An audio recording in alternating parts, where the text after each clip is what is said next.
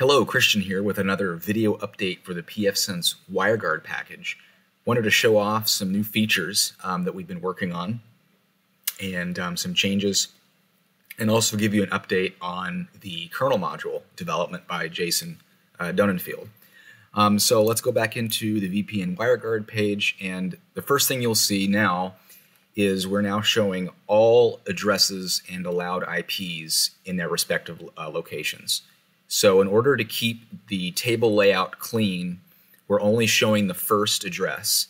But if there's more addresses, you'll see a little plus next to that address indicating the number of additional addresses or allowed IPs.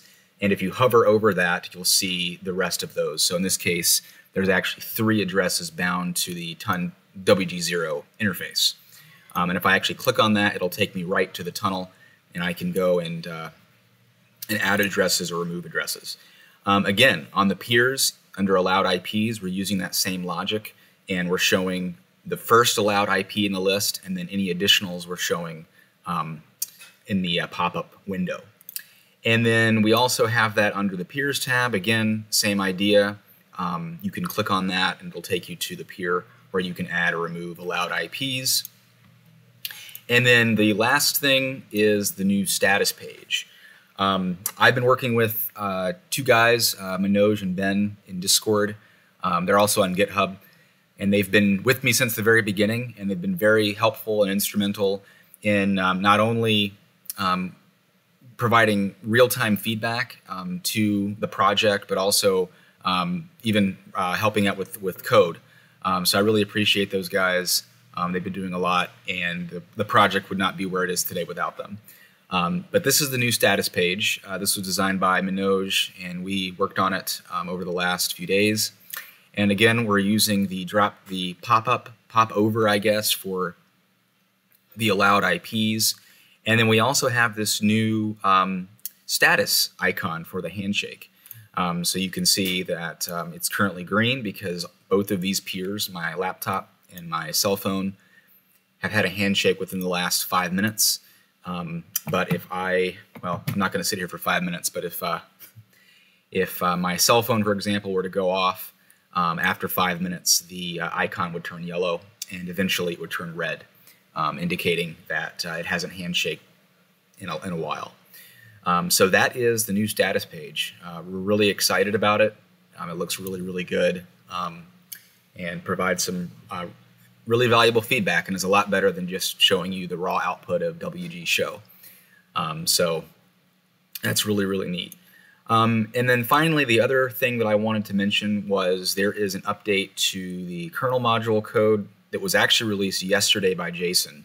Um, the um, the April 28th snapshot includes some very important uh, fixes for some kernel panics that were caused by interfaces being torn down if they had IPv6 addresses. I'm not a kernel developer, so I'm not really sure exactly what the issue was on the kernel code side. Um, but I do know that any of you who are trying to use IPv6 are probably experiencing some very weird behavior um, because every time the uh, the package would invoke WireGuard uh, WG Quick to actually tear down the interface, if there was an IPv6 address bound to it, it would actually cause the box to, to kernel panic and reboot. Um, so if if you sat there on the interface and waited a hot minute, thinking that it was just frozen, uh, no, it was very likely that if you were to go to the console, um, look at look at the screen output of your of your box, it was probably kernel panicking um, and rebooting. But that has been fixed, so there is a new update to the kernel module. Um, again, the latest is now April 28th build, and the kernel uh, WireGuard tools remains at April 24th. Um, so if you're using IPv6, you definitely want to upgrade the kernel module code at this point.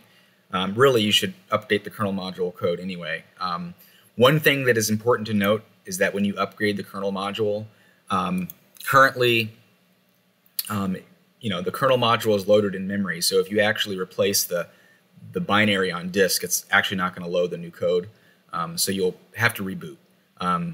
Currently. We're still kind of working out the, the you know, the process of, of doing that once the package is actually released officially.